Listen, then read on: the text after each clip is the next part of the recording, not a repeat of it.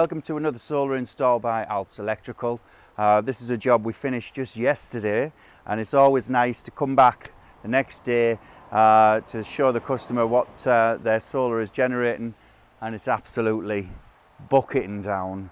Uh, so that's great, um, but I'm sure we will get another sunny day uh, for them to enjoy saving some money. So this solar job had its challenges uh, in the way that it's a beautiful house. It backs onto the River Tees. It's absolutely beautiful.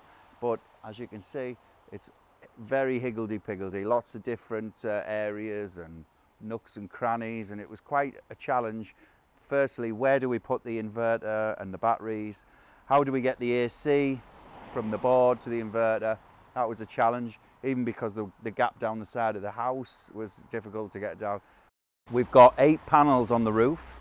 Because of the space that we had, we had to, uh, we tried to maximize that space. So we went with eight JA solar 500 watt panels.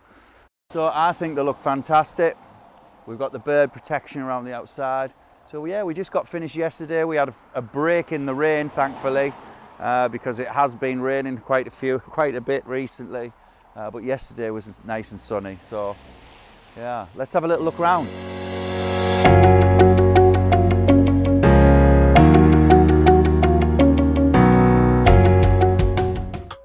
Hey, come up. So we had this uh, loft area boarded out. Um, it was definitely with its challenges where to put everything in this house with the layout. Um, but we decided to put uh, the inverter and batteries up in here because it's an ideal ideal space for it. Um, we also put in a nice uh, new LED button and pull switch. So as you can see we've got the Fox uh, 3.68 kilowatt inverter which is one of our favourites to install.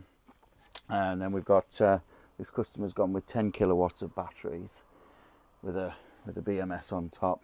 So each one of these modules is 2.5, but it's actually about 2.45 kilowatts each.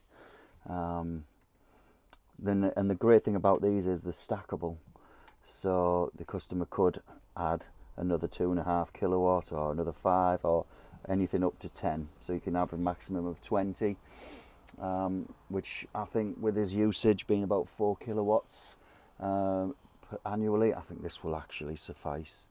But that's the great thing about these batteries that they are um, easily added to. So the route out for our DC cables came up along and then jumped out outside the, onto the tiles with some flexi conduit and then what we've had to do is run up because the actual roof that we're the solar panels are on is above this roof. So we've ran up that wall in a bit of conduit and then some flexi conduit back out onto the main roof. So a nice neat install. So this was an existing junction box because it uh, feeds the annex outside. So we actually popped into the back of that which was ideal. Give us the opportunity to gland our armoured in here.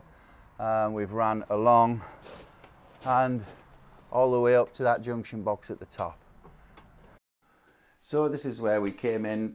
We came in from the back on the other side with our steel wire armoured into the junction box and then straight into this board here. Uh, fortunately, there's plenty of spare ways to be used, but we had to change this module here for a Type A RCD. Uh, we've got our solar on that 16 there.